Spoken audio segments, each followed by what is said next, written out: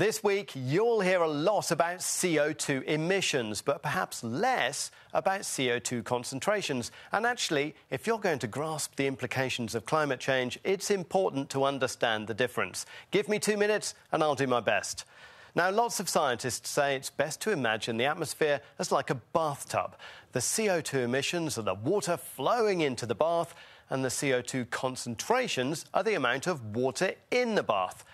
Human activities like burning fossil fuels, cutting down forests, and making cement generate emissions which increase the concentrations. Now, this graph from the Mauna Loa Observatory in Hawaii shows how CO2 concentrations are rising. Nature does absorb some of the CO2, but it can't keep pace with our emissions. At the COP26 climate summit in Glasgow, world leaders will talk about reaching net zero emissions, which means stopping filling up the metaphorical bathtub. But the CO2 concentrations will remain high for hundreds of years.